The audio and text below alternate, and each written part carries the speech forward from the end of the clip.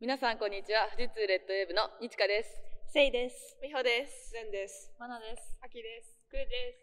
イエ今日は富士通レッドウェーブの皆さんの素顔を明らかにする質問をいくつかご用意しましたでは最初の質問ですー イ一人、いける？いける。せーの、シーさん。いつも汗かいてる。そうじゃない。出来上がっあ、出来上がって出来上がって。スリーバイの合宿であのハーフコートだけだからあのオールコートになった時に困るって言って合宿の合間にガチなラントレを一人で。すすげえ。マジ一回やってしまった死んだ もうやらないって思った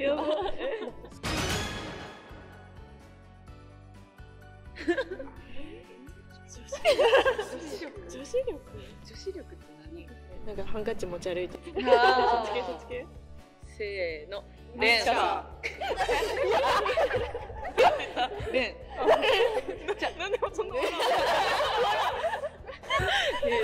じゃ、エピソードえあの部屋であのメイク動画見てるよくえ、違う女子力。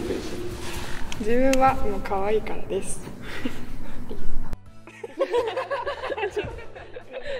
可愛いからです。やばい。顔やばかった。ちょっとすごい他人事な感じ。三人に近った。エピソードお願いします。髪の毛巻いてくれたりする。あ私いろいろ詳しい。美容について。あじゃあもう、ネイルも可愛い。そう、ネイルかわい。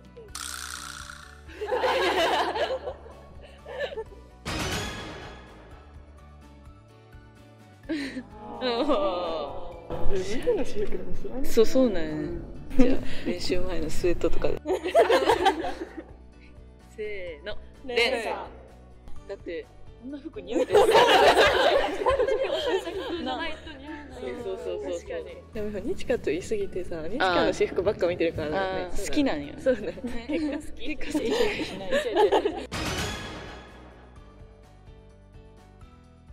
大丈夫です。迷うけど、迷うけど。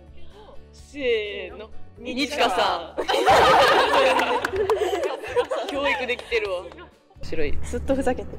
ともする。それは良くないよ。それは良くない。練習してそれは良くない。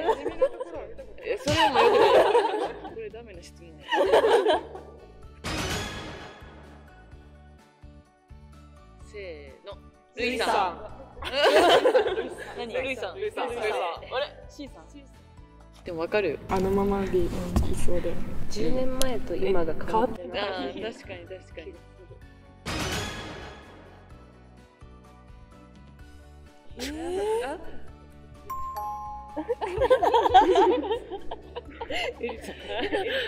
選手で選手で選手で選手でせーのモニカ全然違うニチカさんニチカじゃあニチカさんからいつも飛び跳ねてるイメージ。盛り上げ隊長ですね。うんモニカはね帰ってきたらそう、そう。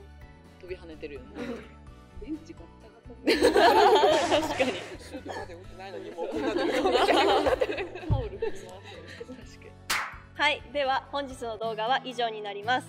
この動画がいいねと思ったら、チャンネル登録とグッドボタンよろしくお願いします。また次回の動画でお会いしましょう。バイバーイ